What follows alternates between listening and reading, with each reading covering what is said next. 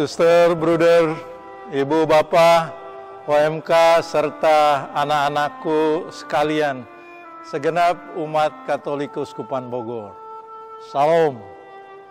Pada kesempatan yang penuh rahmat ini, saya bersama dengan semua imam yang berkarya di Kuskupan Bogor hendak mengucapkan selamat Paskah bagi kita semua.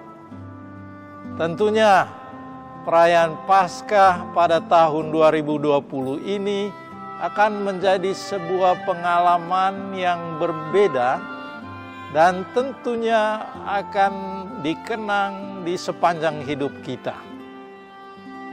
Karena wabah corona, pada kali ini kita tidak bisa merayakan Paskah sebagaimana mestinya.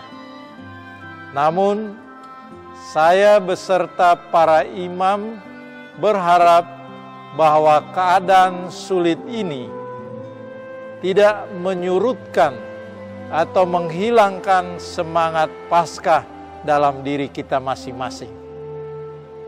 Rasul Paulus mengatakan bahwa akan selalu ada rahmat yang tersembunyi dalam setiap peristiwa hidup umat beriman, bahkan di situasi yang sulit sekalipun.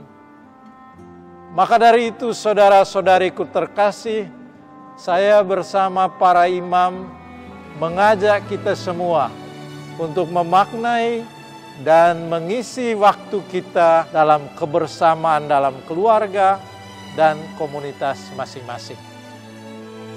Semoga semangat Paskah mendorong kita untuk semakin mau memberikan perhatian dan kepedulian bagi keluarga dan sesama yang ada di sekitar kita.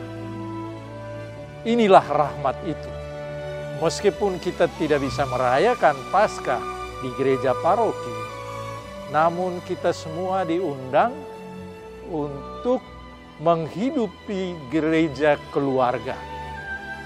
Penuhilah kehidupan keluarga kita dengan semangat Paskah yang ditandai dengan cinta, pengorbanan, pengampunan, kebangkitan, perjumpaan, dan banyak hal baik lainnya.